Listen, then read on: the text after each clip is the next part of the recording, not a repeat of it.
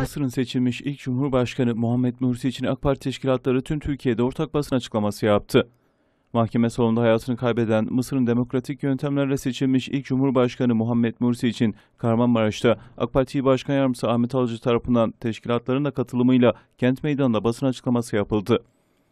Alıcı açıklamasında Mısır'ın siyasi tarihinde ilk kez demokratik seçimlerle Cumhurbaşkanı seçilen Mursi, özgürlük ve adalet hasretiyle hakka yürümüştür denildi. Muhammed Mursi'nin hakkın rahmetine kavuşması nedeniyle AK Parti Genel Merkezimiz İnsan Hakları Başkanlığı tarafından hazırlanan basın açıklamasını sizlerle paylaşmam. Hepinize saygılar sunuyoruz. Mısır'ın siyasi tarihinde ilk kez demokratik seçimlerle Cumhurbaşkanı seçilen Muhammed Mursi, özgürlük ve adalet hasretiyle hakka yürümüştür. İnandığı dava uğruna ömrünü adayan Mursi, Mısır halkı için verdiği insanlık mücadelesinde zalim bir junta zihniyetiyle devrilmiştir. 2013 13 Temmuz'unda kanlı bir darbeyle iktidarı ele alan Abdülfettah Es-Sisi kan ve gözyaşı üzerine kurduğu iktidarını yine kanla beslemiştir. Uluslararası hukuku ve insan haklarını yok sayarak Mısır halkını baskı altına alan zalim Sisi, masum insanları acımasızca katletmiştir.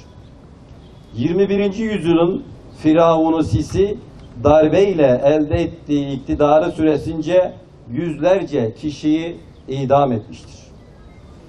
Başta Amerika olmak üzere bazı Batı ülkeleri maddi ve ideolojik çıkarları uğruna Mısır'da darbe rejiminin insanlık dışı uygulamalarına karşı sessiz kalarak işkenceleri, haksız yargılamaları ve vahşi idamları görmezden gelmiştir.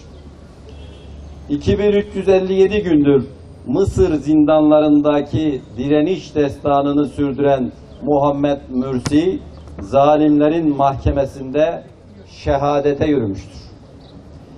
Sakın Allah'ı zalimlerin yaptıklarından habersiz sanma.